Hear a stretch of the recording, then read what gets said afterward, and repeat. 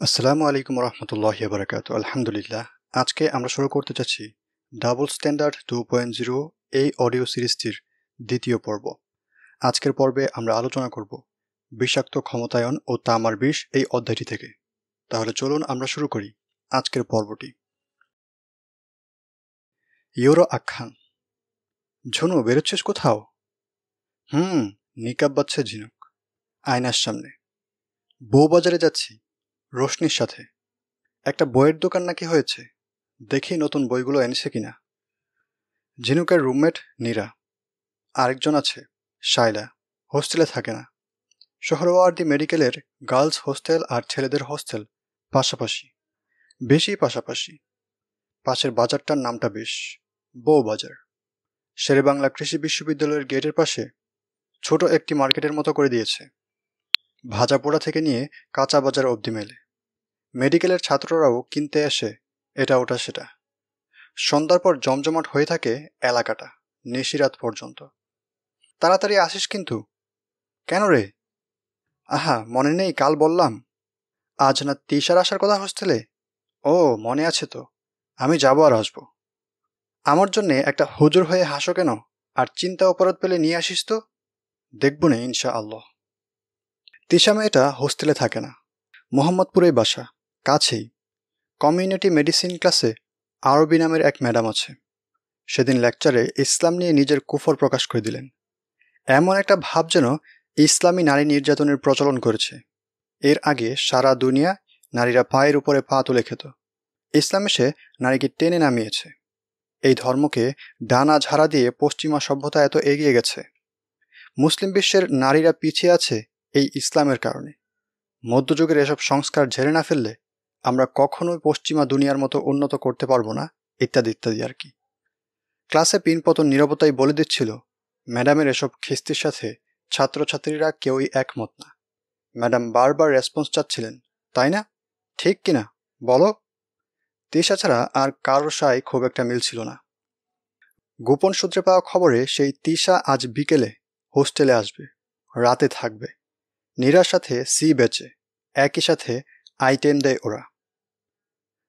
Item, যাকে বলে স্যারের কাছে পড়া দেওয়া ওটাকে ডাক্তারি পড়ায় বলে আইটেম দেয়া। ষাট পার্সেন্ট পেয়ে পাশ করতে হয়। এর কম পেলে আবার দিতে হয়। প্রতি চ্যাপ্টারে সিক্সটি পার্সেন্ট না পেলে মিড টার্ম পরীক্ষা বসতে দেওয়া হয় না। মিড টার্ম ক্লিয়ার না হলে টার্মে বসতে পারবে না। টার্ম ক্লিয়ার না হলে প্রফেশনাল পরীক্ষায় বসতে দেওয়া হয় না। ভালো বন্ধু ওরা। নীরার প্ল্যান হলো, ওদের রুমে তিশাকে দাওয়াত করা হবে সন্ধ্যায়। অর্ডার করা হবে পিৎজা। আর দেয়ানো হবে জিনুকের সাথে একটা সিটিং। ওয়াও, এত বই কার? কে পড়ে? জিনুকের সেলফে প্রায় শ পাঁচেক বই। তাফসির থেকে নিয়ে মার্কস, শাইখ আতিকুল্লা থেকে নিয়ে ফ্রয়েড। বিরল কিছু পিডিএফ প্রিন্ট বাইন্ডিং করিয়ে সংগ্রহে রাখা। বাংলা, ইংরেজি বেশি। দুটো একটা আরবি উর্দু বই সেলফের ওজন বাড়িয়ে দিয়েছে সমন। তিশা ওজন টের পাচ্ছে রুমটার। জিনুকের, আমরাও নাড়াচাড়া করি। জিনুক মানে রোল নয়? নীরা, জানিস, আমি গত দেড় বছরে রোল নয়ের চেহারাটাও দেখিনি। কই রে সে? নামাজের রুমে। মাগরিবের নামাজের সময় যে। আর দেখবি কীভাবে? ও তো এ বেচে। তারপরও বেচমেট দেড় বছর একসাথে ক্লাস করছি। চেহারাটাও দেখা দেয়নি। কি যে ধর্ম তোদের। আচ্ছা বাদ দে। কি খাবি বল? অর্ডার করব এখন। পিৎজা আর ড্রিঙ্কস আনাচ্ছি। আর? আর কিছু না। একটা ইংরেজি বই টেনে নেই তিশা। জিনুককে দেখে তিশা কিছুটা বিহব্বল এই বুরকাওয়ালি পশ্চাৎপদ মেয়েটার বাইরের পড়াশোনার লেভেল ছিল ওর জন্য পয়লা ধাক্কা। আর পরের ধাক্কাটা ছিল, ক্লাসের তিনজন রূপবতী মেয়ের একজন যে গত দেড় বছর নিজেকে ঢেকে রেখেছে, ওটা।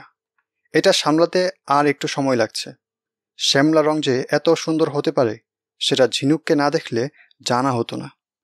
প্রাথমিক খেজুরে আলাপের এক ফাঁকে নীরা কথা পাড়ার মধ্যে বলল, তেশা, আমাদের নামাজের রুমে প্রতি বৃহস্পতিবার আসরের পর কোরআন হাদিসের তালিম হয়। তুই সময় পেলে আসিস মাঝে মধ্যে। হুম, আসলে দোস্ত, আমার কিছু প্রশ্ন আসে ইসলাম নিয়ে। বলতে পারিস কিছু সংশয়।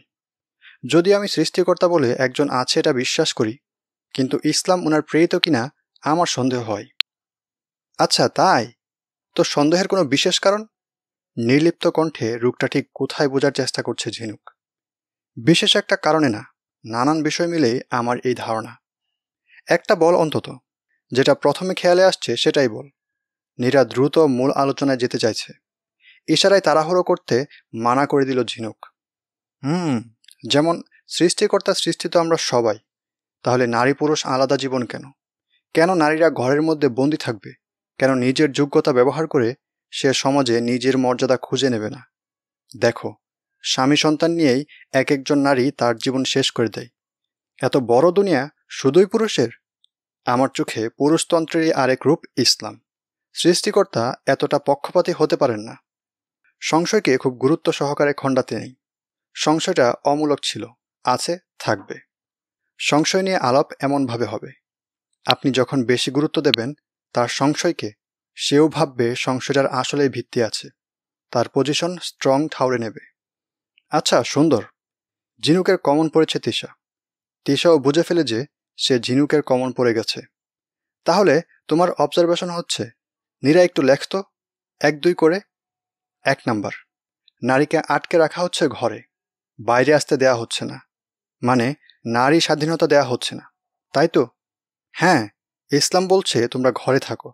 আচ্ছা ঘরের বাইরে এসে নারী কি কি করবে? মানে বাইরে এসে নারীকে কি কি করাতে চাচ্ছ? লেখাপড়া করবে, চাকরি করবে, ব্যবসা করবে। নিরা লেখ পাশে। লেখাপড়া, চাকরি, ব্যবসা।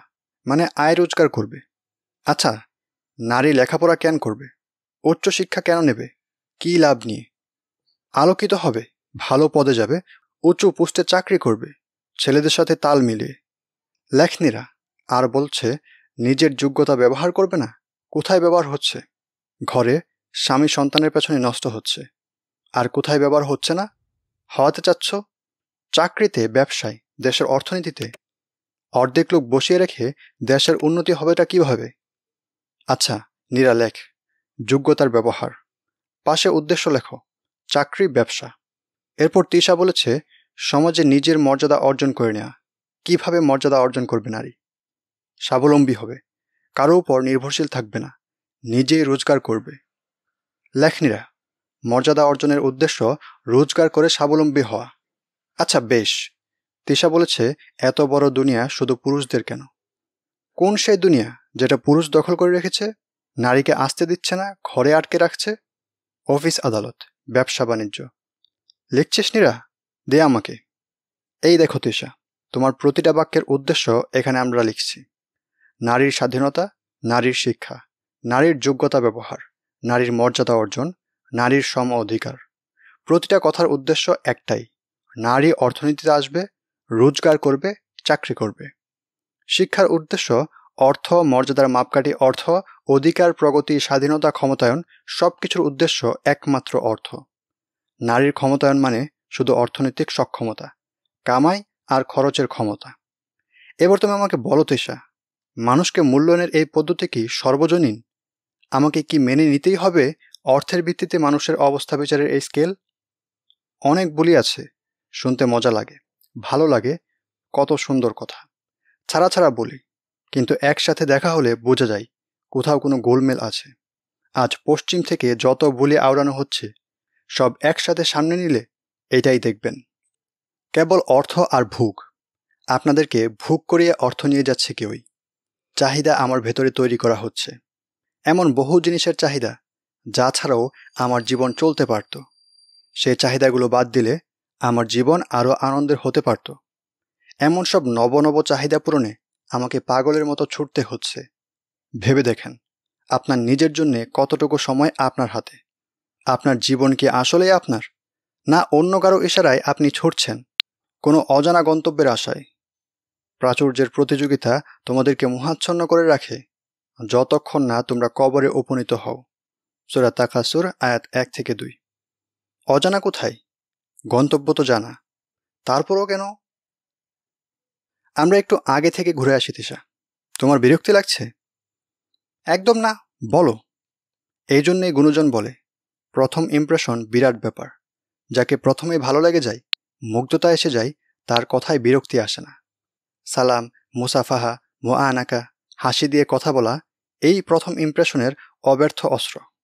মুসাফাহা মানে হাত মেলানো মোয়ানাকা মানে গলা মিলানো।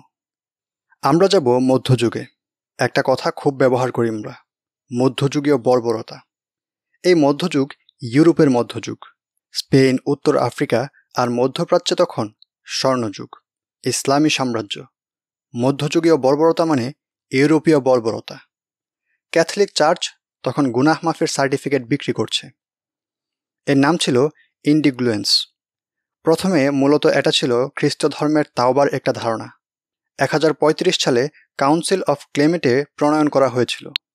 দুঃস্বীকার এবং বেশি বেশি ভালো কাজ করে শাস্তিকে কমিয়ে আনা। পরবর্তীতে ত্রয়োদশ শতকের দিকে ধীরে ধীরে ভালো কাজ ব্যাপারটা হয়ে গেল কিনে নেয়া। অর্থ ডোনেশনের মাধ্যমে কিনে নেওয়া হয় ইন্ডিগুলেন্স সার্টিফিকেট। নিজের পূর্বপুরুষ আত্মীয় স্বজনের নামে সার্টিফিকেট কিনে তাদের বেহেস্ত নিশ্চিত করা হতে লাগল। সরকার আর চার্চ মিলে ভাগ বাটোয়ারা করে নিত। এটা ছিল ইউরোপে প্রোটেস্ট্যান্ট আন্দোলনের অন্যতম কারণ। পনেরোশো সতেরো সালে মার্টিন লুথার ক্যাথলিক চার্চের দুর্নীতির বিরুদ্ধে লেখে, নাইনটি ফাইভ থিসিস, যা থেকে জন্ম নেয় রিফরমেশন আন্দোলন। মার্টিন লুথারকে বলা হয় প্রোটেস্ট্যান্টবাদের প্রবক্তা। আর চার্চের মদতপুষ্ট সামন্ততন্ত্র তখন প্রজাদের টর্চারের জন্য বানাচ্ছে বিভৎস সব যন্ত্র। কোনো দ্বন্দ্ব না, কেবল টর্চার করার জন্যে কী সব যন্ত্র তৈরি করা হয়েছিল? দেখুন, অবশ্য অধিকাংশ সহ্য না করতে পেরে মরেই যেত বলে মনে হয়। দুর্বল হৃদয়ের লোকজনের দেখার দরকার নেই। ডাইনি বলে পুড়িয়ে মারা হচ্ছে লাখ লাখ নারীকে। ডাইনি নিধনের তথা উইচ হান্ট নামে চোদ্দশো পঞ্চাশ থেকে সতেরোশো পঞ্চাশ পর্যন্ত তিন শত বছরে পাঁচ থেকে ষাট লাখ মানুষ হত্যা করা হয়েছিল। যাদের আশি পার্সেন্ট ছিল নারী। ইউরোপ মুক্তি খুঁজল। ফরাসি বিপ্লবের মাধ্যমে সামন্ত সমাজের অবসান ঘটল। সতেরোশো উনানব্বই থেকে সতেরোশো নিরানব্বই সাল পর্যন্ত ফ্রান্সে যে বিপ্লবের মাধ্যমে রাজতন্ত্রকে নির্মূল করে গণতন্ত্র প্রতিষ্ঠা করা হয়, তাকেই বলা হয় ফরাসি বিপ্লব। সামন্ত সমাজ বলতে মধ্যযুগের সমাজ কাঠামো ও ভূমি রাজস্ব ব্যবস্থা বলা হয়। সোজা বাংলায় জমিদারি প্রথা। রাজা জমিদারকে জমির মালিক করে দিতেন ট্যাক্স ও মিলিটারি সার্ভিসের বিনিময়ে। আর প্রজারা খাজনা ট্যাক্স শ্রম দিত জমিদারকে। একেই বলা হয় সামন্ততন্ত্র বা ফিউডালিজম সূচনা হলো এক নতুন ইউরোপের, আলোকিত ইউরোপ এনলাইটেনমেন্ট এনলাইটেনমেন্ট হলো সপ্তদশ ও অষ্টদশ শতকে ইউরোপের এক বুদ্ধিবৃত্তিক আন্দোলন। এর ফলে ঈশ্বর, যুক্তি, প্রকৃতি এবং মানবতার ধারণা নতুনভাবে তৈরি করা হয়, যার সম্মিলনে গড়ে ওঠে নতুন এক ওয়ার্ল্ড ভিউ বা দৃষ্টিভঙ্গি। এই দৃষ্টিভঙ্গি দ্রুত পশ্চিমে গ্রহণযোগ্যতা লাভ করে এবং শিল্প, দর্শন, রাজনীতির সাজ গড়ে ওঠে এই চিন্তাধারার কেন্দ্র হচ্ছে যুক্তির প্রয়োগ আর মানুষের মূল লক্ষ্য এখানে জ্ঞান, স্বাধীনতা আর সুখ। বিকল্প সমাজটা কেমন হওয়া চাই তা নিয়ে ইউরোপের নানান দার্শনিক লিখেছেন। তাদের চিন্তাধারা থেকে বেরিয়ে এলো কিছু মূলনীতি। নতুন সমাজ বিনির্মাণ হবে এই মূলনীতিগুলোকে সত্যসিদ্ধ ধরে নিয়ে, যাতে ধর্মীয় দুঃশাসন আর ফিরে না আসে। ধর্মের বিকল্প হিসেবেই এগুলো ধর্মের মতো করেই মেনে নিতে হবে। কোনো প্রশ্ন করা যাবে না। এগুলো অব্যয়, পরম সত্য। তিশার সামনে নতুন নতুন জানালা খুলছে। এগুলো আগে কোথাও শুনেনি। আর ঝিনুকের বলার মাঝে একটা মাদকতা আছে। যেন নদীর পাশে বসে আছি। বরাবরের মতোই মুগ্ধ শ্রোতা হয়ে শুনছে নীরা। এক সমাজ হবে ইন্ডিভিজুয়ালিস্টিক বা আত্মকেন্দ্রিক। ব্যক্তি স্বাতন্ত্র্যবাদ। আগের গল্পে ব্যক্তির যে পশ্চিমা ধারণা উল্লেখ করা হয়েছে, সেই চশমায় অন্যান্য বিষয়গুলো দেখা। এর চরম থেকে নিয়ে নরম আলোচনা রয়েছে। মোট কথা সব কিছুর উপর ব্যক্তি।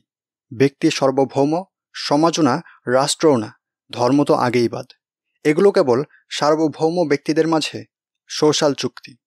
চরম আলোচনার একটা অংশ হলো ব্যক্তিরা যেন নিরাপদে ব্যক্তি স্বার্থ চরিতার্থ করতে পারে, সেটা নিশ্চিত করাই রাষ্ট্রের দায়িত্ব। Herbert Spencer. দর্শনকোষ সর্দার ফজলুল করিম। আত্মতুষ্টি হবে অর্থনীতির ভিত্তি।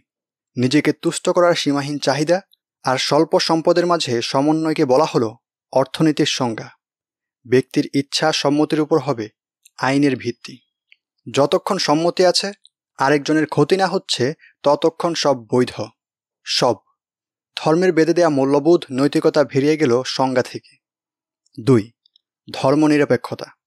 সেকুলারিজম। ইউরোপে ম্যাকিয়াভেলি, যার মৃত্যু পনেরোশো সাতাশ খ্রিস্টাব্দ, তারপর থেকে হাবস, লক, রুশো এবং মার্ক্সবাদীগণ রাষ্ট্র পরিচালনার ক্ষেত্রে ধর্মের প্রভাবকে অস্বীকার করেছেন। মূলত তিনটি কথাকে সেকুলারিজম বলা হয়। রাষ্ট্রীয় ও গণপরিমণ্ডল থেকে ধর্মকে আলাদা করা। আরেকজনের ক্ষতি না করে নিজের ধর্ম পালন করা বা ধর্ম বদলানো বা বিশ্বাস না করা। যার বিবেক যা বলে সেটা স্বাধীনতা। ধর্ম পালন করা বা বিশ্বাস না করার কারণে কেউ সুবিধা বা অসুবিধা ভোগ না করে, সবাই সমান। ধর্ম কেবল ব্যক্তিগত ইস্যু, সমাজে, রাষ্ট্রে, ধর্মের স্থান থাকবে না। কেন বলতো নিরস্তাত্ত্বিক আলাপ, তাই তিসার মনোযোগ চেক করে নিল ঝিনুক। কারণ ধর্মের কারণেই ধর্মীয় কর্তৃত্বের দ্বারাই এত বছর এত অনর্থ হয়েছে। উত্তরটা এলো নিরার থেকে। রাইট তবে খ্রিস্ট ধর্মের। মুসলিম বিশ্ব তখন আলো ঝলমলে। এই পার্থক্যটুকু বোঝা জরুরি। হুম। তিন, বস্তুবাদ। ম্যাটেরিয়ালিজম এই ধারণা যে বিশ্বের সব কিছুই বস্তু বা শক্তি, এর বাইরে অবস্তু বলে কিছুই নেই, আত্মা, স্রষ্টা, এসব বলে কিছুই নেই। ইহজীবনী সব, সকল কর্মকাণ্ডের উদ্দেশ্য ইহকাল। চার, ভোগবাদ। উনিশশো সত্তর সাল থেকে ভোগবাদ শব্দটি কনজিউমারিজম বা বেশি বেশি পণ্য ও সেবা গ্রহণ অর্থে ব্যবহৃত হয়ে আসছে। একে অর্থনৈতিক বস্তুবাদও বলা হয়ে থাকে, যার মানে বেশির চেয়েও বেশি পার্থিব্য বস্তু আহরণ ও ভোগের মানসিকতা। তবে মার্কেটিংয়ের পরিভাষায় এর অন্য অর্থও আছে।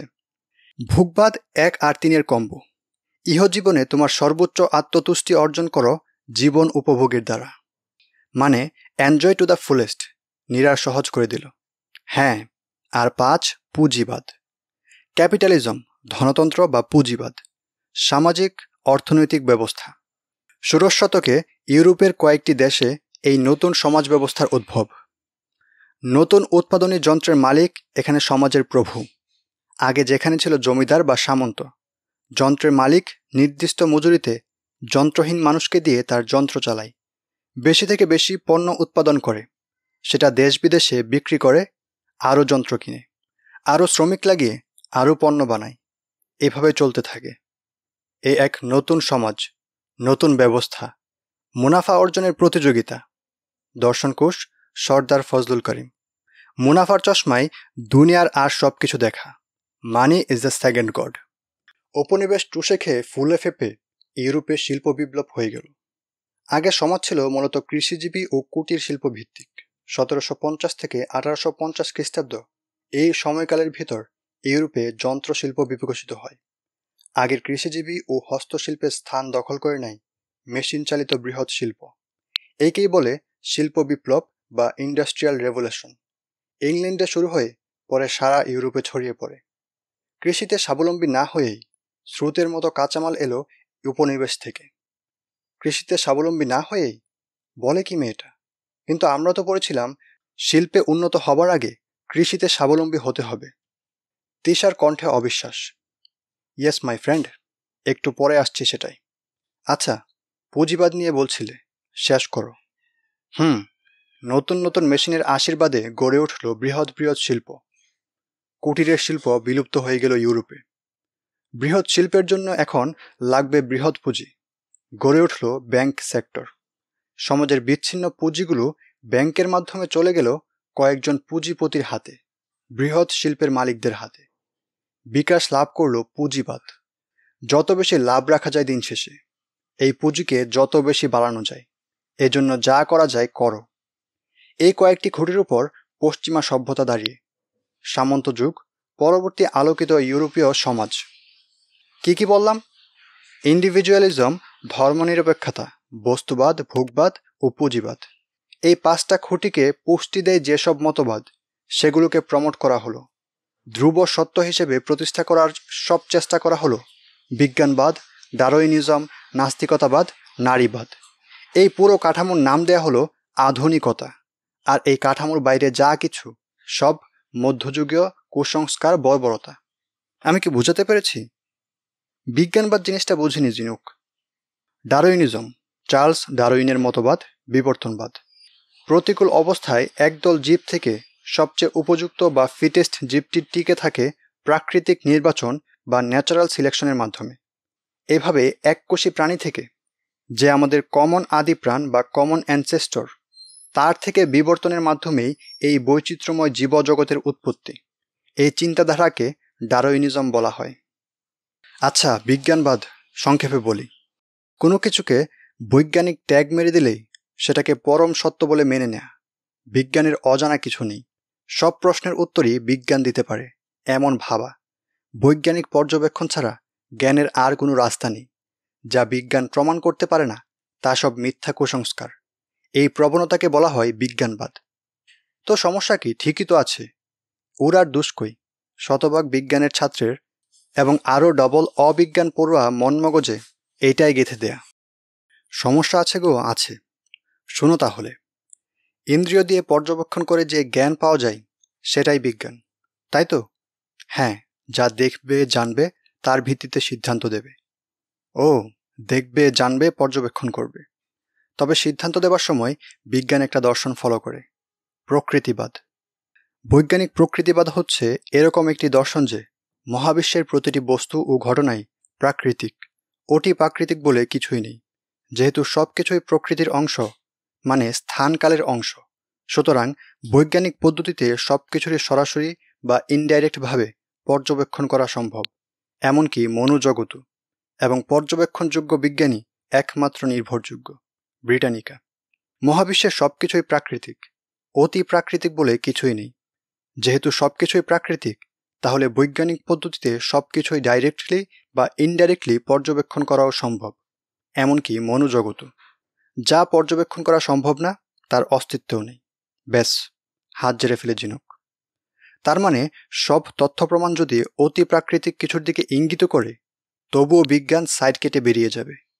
নীরাও অবাক। হ্যাঁ এটা ওটা বলে প্রাকৃতিক একটা সম্ভাবনার কথা বলবে, নয়তো চুপ করে থাকবে। কারণ বিজ্ঞান এটা শুরুতেই বিশ্বাস করে নিয়েছে পরম সত্য হিসেবে যে, নিজের মূলনীতি হচ্ছে সব পর্যবেক্ষণ করা যাবেই। যা কিছু যাবে না, তা কুসংস্কার। সিদ্ধান্ত দেওয়ার ক্ষেত্রে বিজ্ঞানের হাত পা বেঁধে দিয়েছে এই যে এতক্ষণ আমরা পাশ্চাত্য সভ্যতার যে খুঁটিগুলোর কথা বললাম, সেগুলো। বিজ্ঞানী রুপার্ট শেলডন তার science set free ten path to new discovery বয়ে বলেন, কিন্তু যে বিজ্ঞান ধারা আজকের বিজ্ঞানকে পরিচালিত করছে, তা স্রেফ বিশ্বাস, যার শেকড় গেথে আছে ঊনবিংশ শতকের ভাবতত্ত্বের উপর। বিস্তারিত এই ব্যাপারে জানতে পড়ুন ডক্টর রাফান আহমেদ রচিত অবিশ্বাসী কাঠগড়াই বইটি। এনলাইটেনমেন্টের দর্শনগুলো এগুলোর বাইরে কিছু পেলেও প্রচার করা হবে না।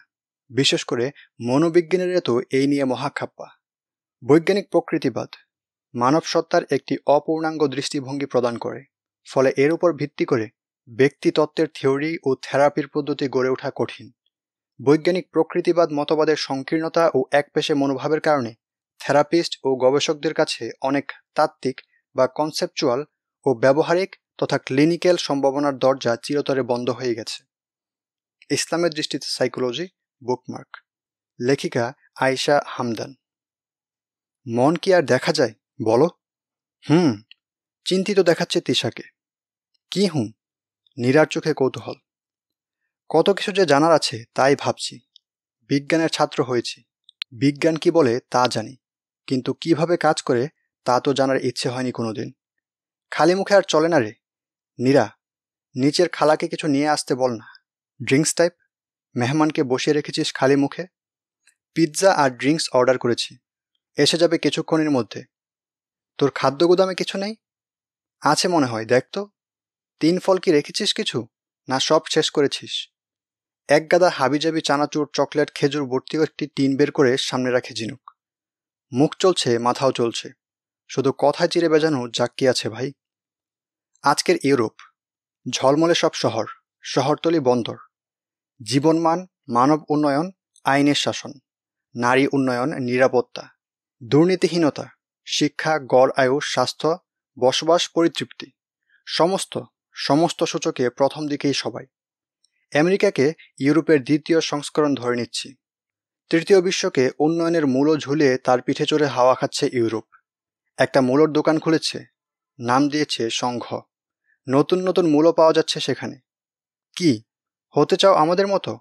আমরা মূলো খেয়ে এখন সাদা দবধবে হয়েছি। নাও, তোমরাও খাও। এটা গণতন্ত্র মূল্য এটা ধর্মনিরপেক্ষতা। এটা পরিবার পরিকল্পনা জাতের মূল্য এটা নারী মুক্তি, এটা বিজ্ঞান আর ওটা মানবতা। এগুলো খেলে একদিন তোমরাও এবার আসছি তিশা তোমার প্রশ্নটাতে। কোনটা যেন? ওই যে কৃষিতে স্বাবলম্বী না হয়েই ইউরোপ আজকে শিল্পোন্নত? আচ্ছা হ্যাঁ। আমরা ছোটবেলায় কিন্তু পড়েছিলাম, শিল্প উন্নয়নের আগে কৃষিতে স্বাবলম্বী হতে হবে। মনে আছে? হ্যাঁ আছে।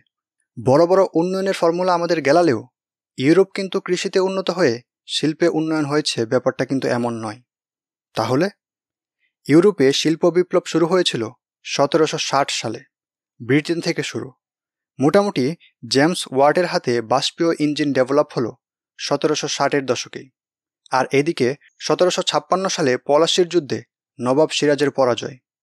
বাংলা, বিহার, উড়িষ্যার রাজস্ব আদায়ের ভার পেল ব্রিটিশ ইস্ট ইন্ডিয়া কোম্পানি।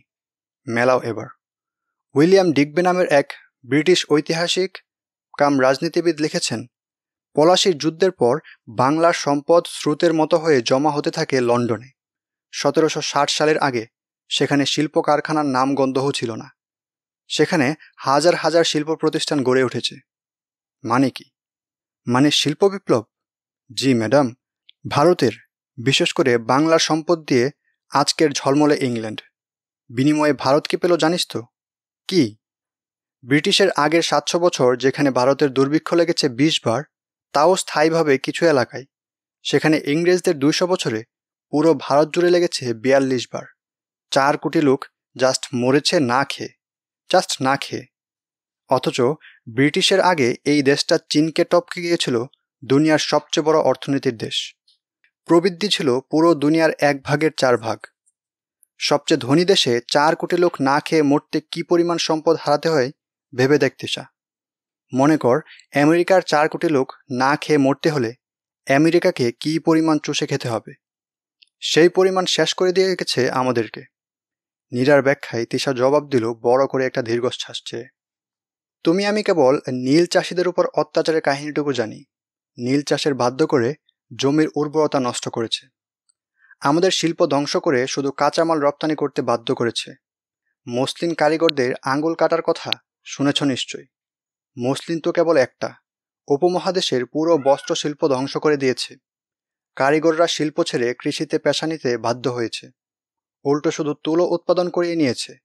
আর নামে মাত্র দামে সেই তুলো দিয়ে জমে উঠেছে ইংল্যান্ডের বস্ত্র শিল্প ইংল্যান্ডের জাহাজ শিল্পকে রক্ষা করতে আমাদের জাহাজ শিল্প ধ্বংস করে দিয়েছে।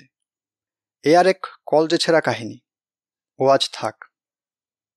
বিস্তারিত জানতে স্যার উইলিয়াম ডিগবের প্রসপার ব্রিটিশ ইন্ডিয়া এবং লালা লাজপথ রায়ের আনহ্যাপি ইন্ডিয়া এই বই দুটো পড়তে পারেন। আর কিছু আইডিয়া পেতে পড়ুন হুসাইন আহমদ মাদানী রহিমউল্লাহের রেশনি রুমাল আন্দোলন এবং নকশে হায়াত। তলাবিহীন ঝুড়ি, দুর্নীতিতে চ্যাম্পিয়ন, বৃহৎ উন্মুক্ত শৌচাগার, উড়াই নাম দেয় আমাদের। আর আমরা ধর্ষিতার মতো লজ্জায় কুকড়ে যাই। চুরেরা সার উপাধি, নোবেল পুরস্কার আর কমনওয়েলথ পদক দিলে যারা আহ্লাদে আটখানা হয়, তাদের তো আত্মসম্মানটুকুও বাকি নেই। গোলা ভরা ধান গোয়াল ভরা গরু আর পুকুর ভরা মাছ কিভাবে রূপকথা হয়ে গেল সেই কথা শুনে আর কি হবে يا ربي يا ربي إني أسألك العفو